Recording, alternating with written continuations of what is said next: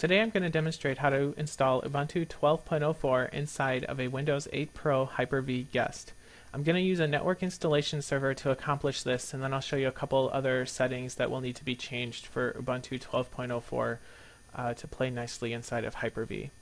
Even though I'm not going to cut this video, you'll see the full OS install in real time. The in total time should only be about 10 minutes. So let's get started.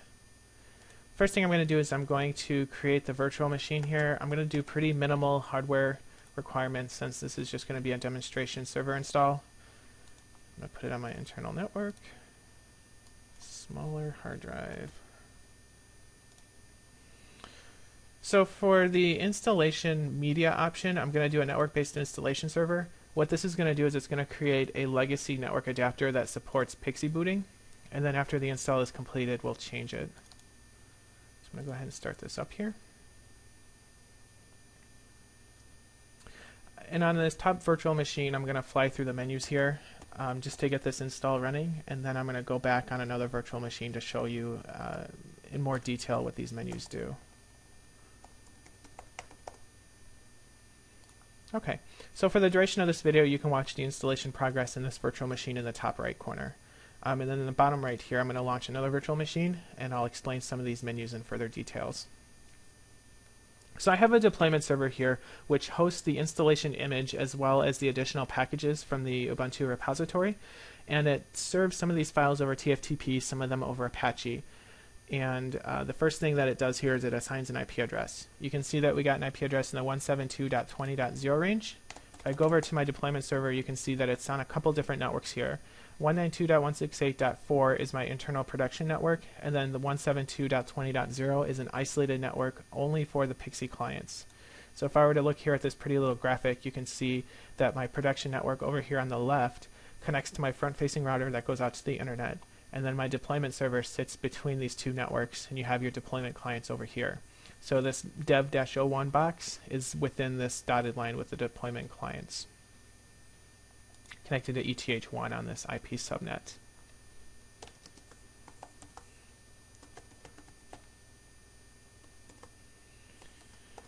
So the program I use for managing the PXE components of this server is called dnsmasq. This program handles DNS, DHCP, and TFTP services, um, all in one nice formatted config file here. Um, so you can see that I'm only running it on ETH1 because I do not want to hand out IP addresses to my production network. That's handled by my internet-facing router. So I'm only handing IP addresses to my PXE clients. And then you can see here further down the file here of where I configure my menu. This menu only has two options. You can boot from the local hard disk or you can boot from the PXE Linux image, which is what I'm using for OS deployment. So this menu um, kind of looks like um, if you've ever imaged your Android phone or done like cache wipes, you can see that it's one yes surrounded by a bunch of no's. I'm kind of using that same format, so you have to very deliberately press OS deployment. The main reason why I do this is because if you have, uh, if you plug a computer that you don't intend to image into your deployment network and it has PXE booting enabled, you'll see this message. And if you hit enter now, it'll just boot normally, no harm done. Or if you like hold down the down arrow and then you hit enter, it'll still boot from the hard disk. If you're selecting OS deployment, it's very likely that it's intentional. Um, it's just another way that I idiot-proof the process. And so if you do that, it'll load PXE Linux from this TFTP root folder here. Alright, so I'm going to select OS deployment, and it's going to leave the PXE menu and go into the grub boot menu. So let me load that config file now.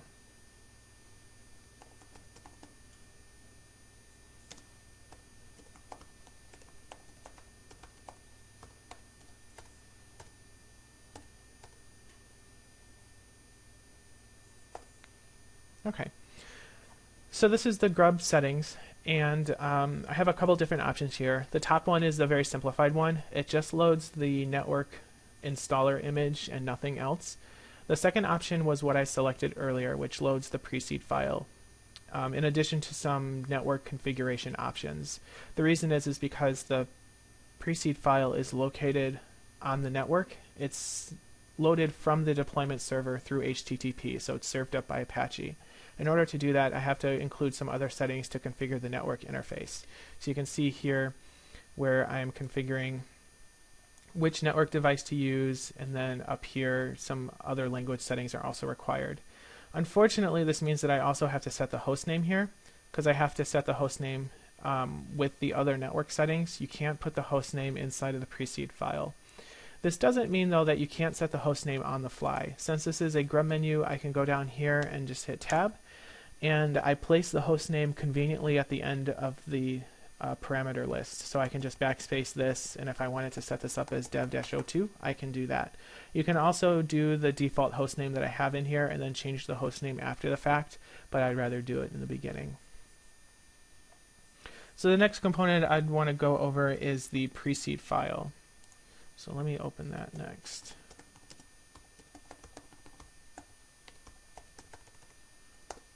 Okay. So this is a my preseed file here that I use for most of my installs. Um, you can see here that it is a PHP script. Um, when I originally started creating these files, I would create several different installer profiles, so different scripts, and I realized that I was only changing one or two lines between each file. So I'd have one file that would install a server, one file that would install a desktop, for example. And if I scroll down here, you can see the only difference is this one line. It's the task select option where I'm either selecting desktop or I'm selecting server. And I realized that it is inefficient to have multiple files because if I want to change like the mirror, for example, I'd have to go in every file and change it, and it was pretty inefficient. Being someone that, that's experienced with PHP, I figured, you know, since this is going through Apache, why not just make it a PHP script and I can send get parameters to create more specific preseed uh, preseed files on the fly. So for example, on this grub menu list, you can see here that I'm sending this auto part parameter, and you can see I'm specifying the device of a hard disk.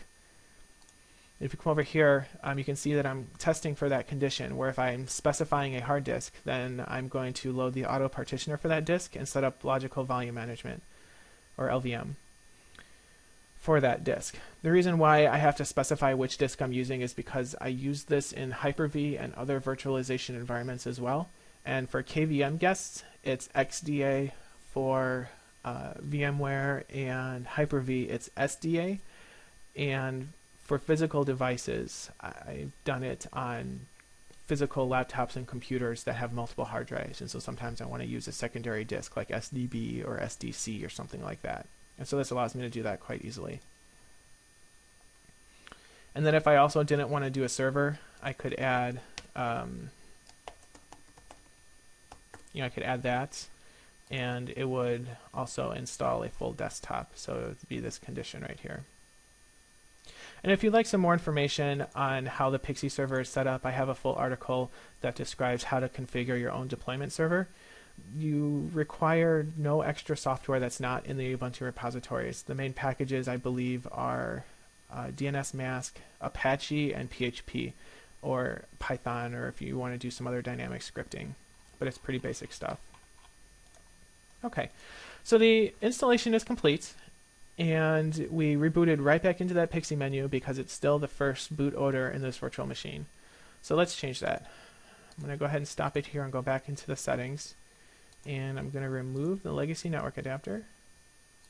And then I'm going to add a network adapter. And while I'm here let's add a processor core too because why not? Alright so I'm going to start this machine back up. Um, it shows a floppy disk error and then after that you're going to see completely nothing. Um, there's some sort of issue where the graphical terminal doesn't like to display properly in Hyper-V Guest or at least I find that the case with Ubuntu 12.04. I haven't really tried later versions. Um, oops.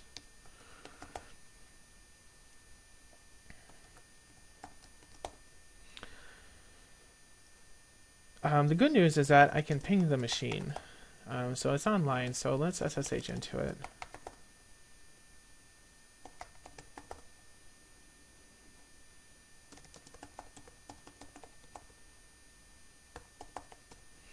So this is a config file that controls the um, the grub settings, and so I'm going to delete a couple things here.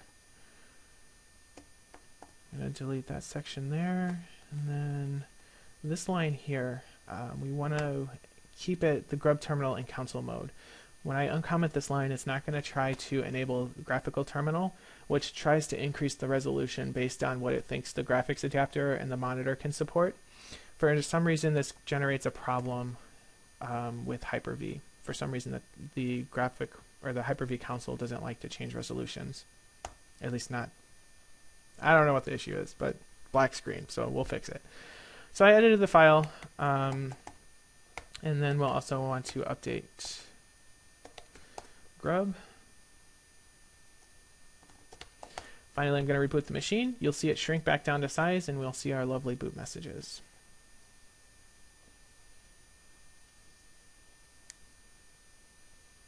You'll notice it also loaded Hyper-V modules. Um, you don't need to install any guest additions or um, any additional software like you would have to for VMware VirtualBox. Hyper-V modules are compiled into the kernel. Submitted actually by Microsoft is open source code.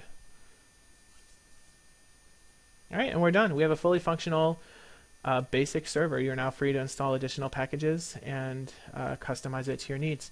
If you need any more information or like to learn more about my deployment environment, this works in Hyper-V as well as for physical devices, VirtualBox, VMware, KVM. Um, it's adaptable. It's not specific to any of those technologies. So feel free to leave a comment if you need any more information. Thanks for watching.